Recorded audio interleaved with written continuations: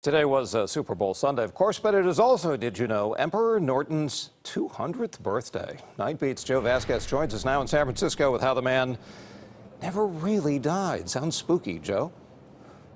Hey, Brian. Well, the party is on. You can see it here at City Hall and several establishments around the city, marking the birthday of one of our most unique forefathers, a man who was either a visionary well before his time, a brilliant guy, or somebody who lost his mind, or both.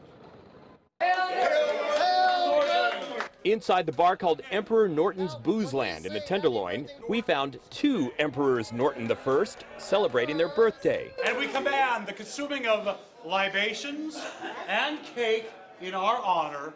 What say the brethren?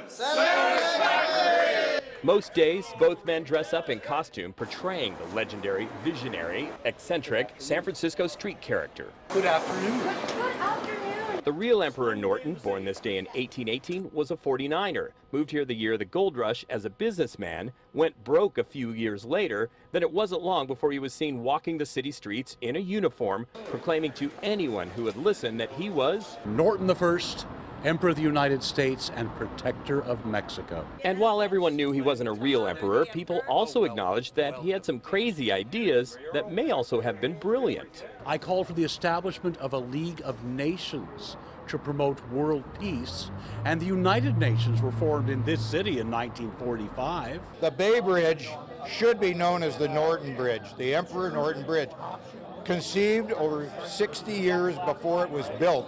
It was the idea that there should be a bridge from Oakland to Yerba Buena Island to Telegraph Hill. That was his original idea. So he conceived of the idea. That's what he he certainly popularized. I mean, the, the, the idea was was in the papers at the time, uh, but but he's the one who really sort of advanced it. Happy birthday to you. So tonight we celebrate the emperor who, legend has it, would eat for free at any restaurant in town.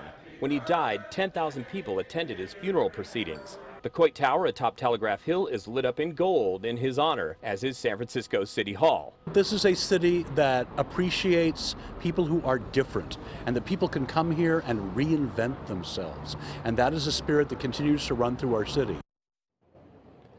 One lesser known fact about the emperor is that he pushed for the desegregation of institutions here in San Francisco, calling for equality for African Americans as well as Asian Americans. So call him crazy, Brian, or call him a visionary who has left quite a legacy for this city. Absolutely, Joe. A city all lit up tonight. Thank you, Joe.